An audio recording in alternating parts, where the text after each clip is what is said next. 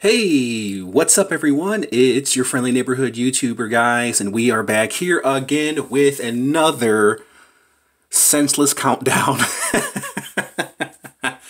Alright guys, so today um, we are going to do a countdown of the top 10 figures under $30. And one of the main reasons why I'm doing this is because I, I see a lot of uh, toy reviewers doing countdowns, and a lot of them collect you know, not only $20 action figures, $30 action figures, but $100 action figures. And so, you know, those action figures under $30, they don't get the praise that they should get simply because they're clumped in with $200 action figures, which is not really fair, you know what I mean? So I wanted to make a countdown for uh, collectors like myself, um, you know, who who don't really collect a lot of high end stuff. You know, I don't really collect uh, Figuarts or hot toys or Mezco. Um, you know, I try not to spend more than $30 on an action figure. And that's not only because I try to stay in my price range, but because I love, you know, the I love collecting, you know, Marvel Legends. If you guys watch my channel, Marvel Legends, Star Wars, a lot of older vintage figures, NECA, recently just started doing, uh, collecting a lot more, especially Predator figures, Predator and Alien figures. And so I'm kind of a low-end collector. So if you guys watch my channel, then you probably, um, you probably collect the same stuff that I do, right? Maybe you might have an $80 figure in your uh, collection, maybe, uh, you know, a $200 statue in your collection, like myself. But this countdown is specifically made for action figures, $30 and under. So this is the top 10, my top 10. Uh, some of you guys might not agree with me on this one, but I think um, I, I think you guys might like my countdown because I have a variety of stuff. So let's get the countdown started, guys. Okay, so number 10, here we go. We have the Kenner Tribute Schwarzenegger right here, the T1000, I believe he is. Um, the reason why I'm putting that number 10, guys, is mostly for nostalgic reasons. Um, I used to have this figure, the Kenner figure, when I was young. He was one of my favorite, favorite figures in my entire collection when I was, you know, I think when I was like 12, 12, 13 years old. And I really like this Terminator figure. Nobody, I don't think anybody has ever put this guy at the count uh, at in the countdown of 2019. Um, I'm a little bit different. Like I said, these are figures under $30, so I paid probably around $20, $22, $23 uh, shipping, not shipping, uh, total overall taxes.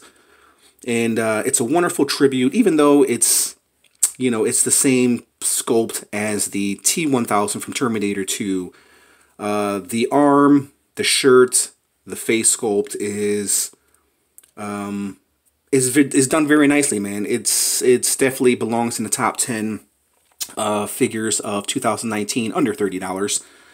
But here is Schwarzenegger Terminator Kenner tribute at number 10, guys. Tell me what you think of that number 10. Okay, another surprise uh, that took me by surprise. Going from Terminator to Alien, this figure took me uh, literally by surprise, guys. This guy is freaking awesome. It's the Chrysalis Alien. The detail in this guy is just superb. The skeleton structure, skull of his head, his arms, his tail, the detail of this guy, the black with the bluish gray um, dry brushing over it. And he's just a solid, solid figure overall. He's nice to hold in your hands. You know, he, you know, when you have an action figure and you hold him in your hand, you can just feel, you can just feel the power. But seriously, he's an awesome, awesome figure. Um, it's from the Alien versus Predator uh, video game, based on the Alien versus uh, Predator video game. He's right out of the video game, man. And I think NECA did an amazing job with this figure. A lot of people sleep on this figure, uh, sleep on the video game uh, Predator and Alien figures, but I think it's one, one of their best lineups, guys. I really, really like this Alien. I That's why he stands at number 9. He would be higher up, but there's all there's cooler figures to come.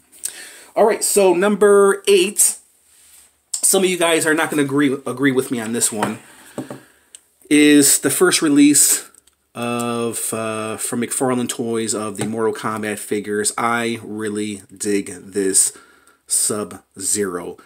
And listen, man, anytime you can get a Mortal Kombat figure for under 30 bucks, I think I paid like $22.99 for this guy, uh, plus tax. If you can get this guy a Mortal Kombat, especially Sub-Zero nowadays, man, for under $30, it's awesome. The detail is really good on this figure. I really like this figure. You know, when I first rated him, I think I gave him an 8. I really do like this Sub-Zero. And being that we got this Sub-Zero here, we'll bring in the Iceman, which will combine with this Sub-Zero because essentially he's the same damn figure. I do like this Iceman a little bit better, man. I think they killed it with this Iceman. I said this in, in the review uh, when I previously reviewed this Iceman. They, this is how the Iceman from uh, X-Men should have looked, other than that gray, weird gray look that they gave him. Um, the blue on this guy just is awesome, man. It's a awesome, awesome figure. This Sub-Zero, the first release for McFarlane Toys, is an awesome figure. And I'm not going to include Scorpion in this countdown simply because I think the Scorpion figure is really good but I wanted to kind of include, you know, a figure of each. You know what I mean?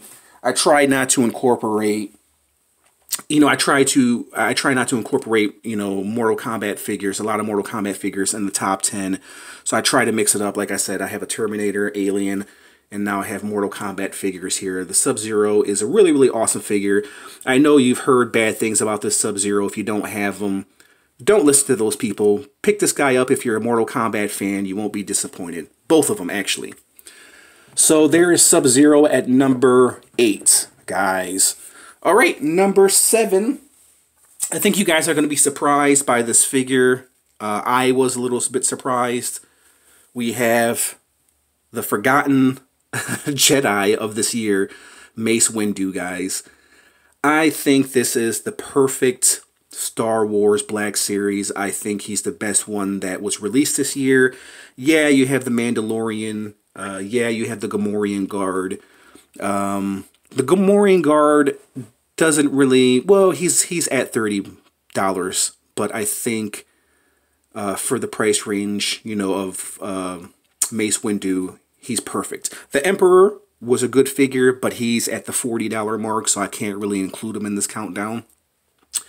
Uh, the, the Emperor with the chair was a good release. Uh, there were a lot of amazing Star Wars figures. The re-releases, I don't do re-releases of Darth Maul and Obi-Wan Kenobi. I, I, just don't do the releases. Same thing with uh, Boba Fett. I love Boba Fett, but it's just a re-release, and this Mace Windu is brand new. So one thing I'm not going to include this in this countdown, guys, is re-releases and repaints. I just don't want to include it in the countdown because we've already seen it before. You know what I mean? So this is 2019. It's a brand new year. That's why I had this Mace Windu at number 10, 9, 8, 7. At 7, guys. This is an awesome figure. The likeness to Sam Jackson is on point, guys. Look at him, man. He looks like Sam Jackson, dude. They did an amazing job. Hasbro did an amazing job with this figure. The cloth cape, the purple lightsaber, everything about this figure is perfect. I have no complaints about this figure at all one of the best releases, in my opinion, uh, from Star Wars Black Series. We have Mace Windu at number seven. Number six, guys, is another surprise. Um, for me, it took me by surprise.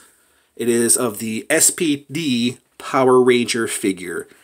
I do not collect Power Rangers, guys.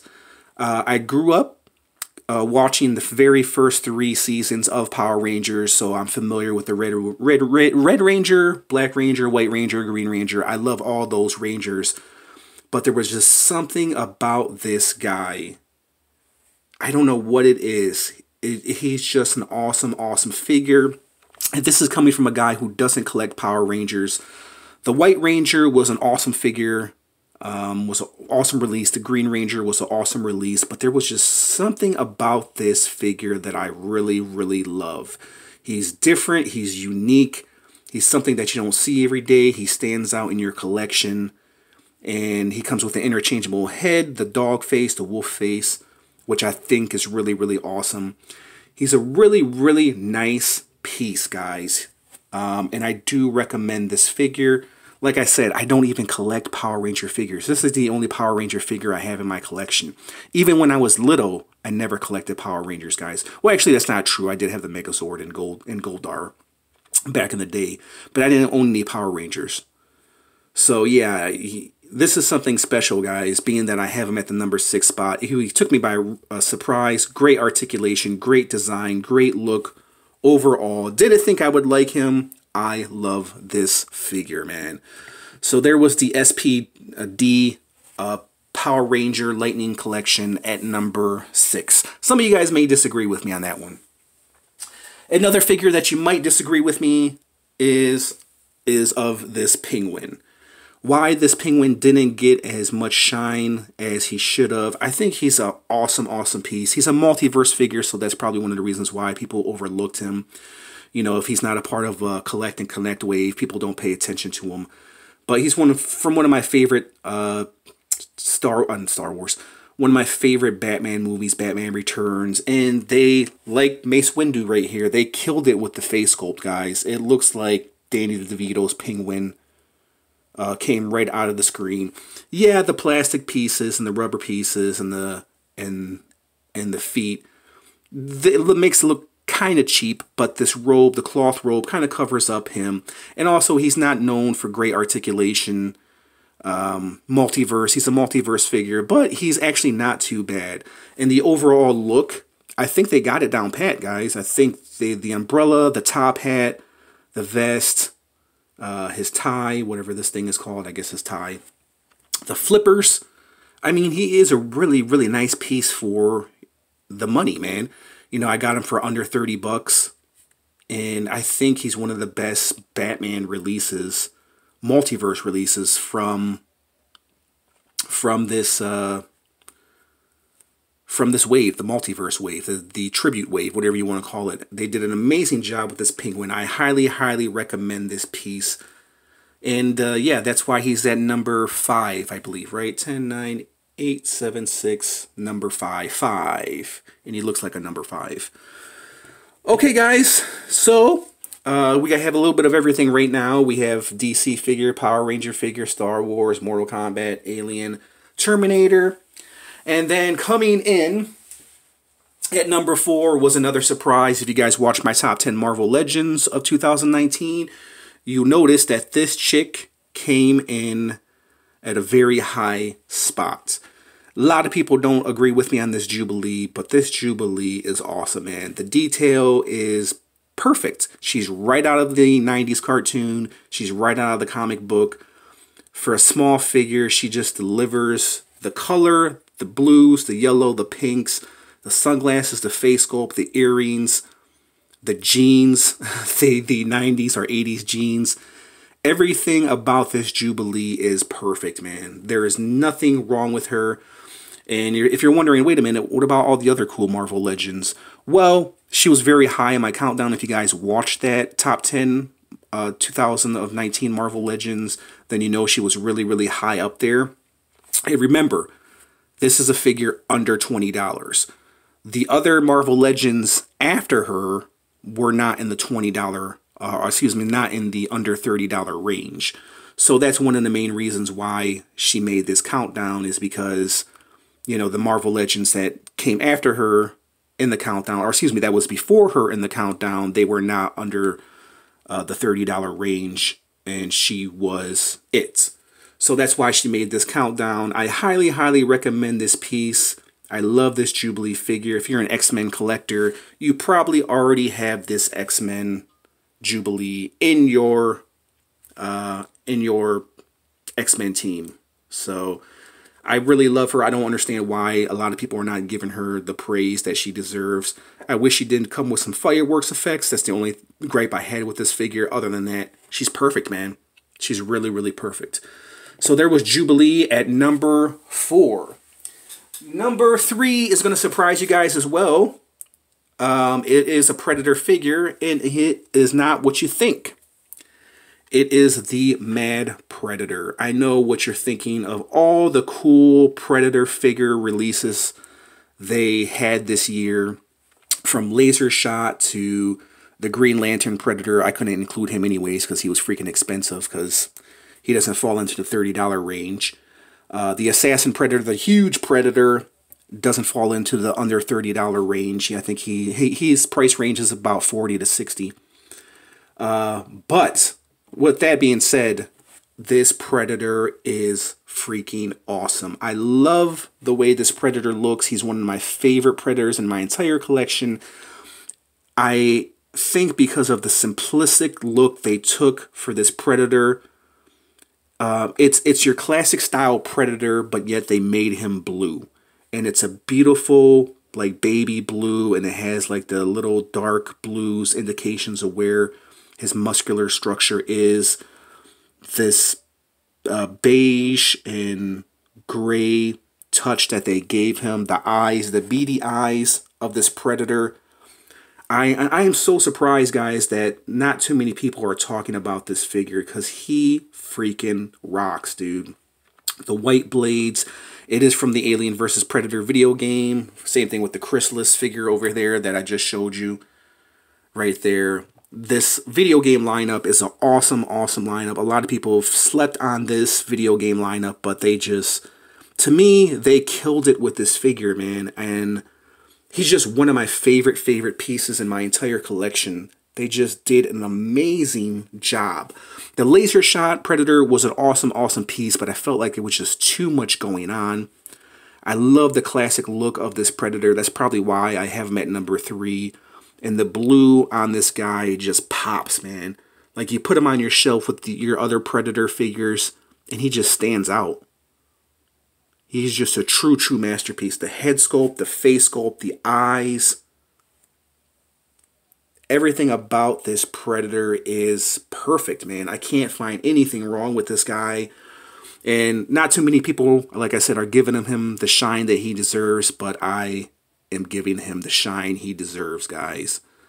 That's why he's at the number three spot, and he is an awesome figure. Pick that Mad Predator up. He is a true, true masterpiece. All right, speaking of another figure that I didn't think uh, I would like, I bought her, and she turned out to be epic. Probably the best Psylocke Marvel Select figure that has come out in a long time, man. She is just straight beautiful. And for the price range under $30, she is perfection, man. There is nothing wrong with this figure. The face sculpt, she comes with two interchangeable heads, a bunch of interchangeable hands. Uh, she comes with a psychic effect as well. And it's just beautiful, man. For the price, for this Marvel Select, they really, really killed it with this figure, man. She is way, way better than the Marvel Legends. Uh, she's just beautiful overall. They gave us the purple hair on this figure, the flowing purple hair. All the colors, they match up well. The metallic blue with the yellow and the pink match with the pink effect. Her hair is just absolutely beautiful.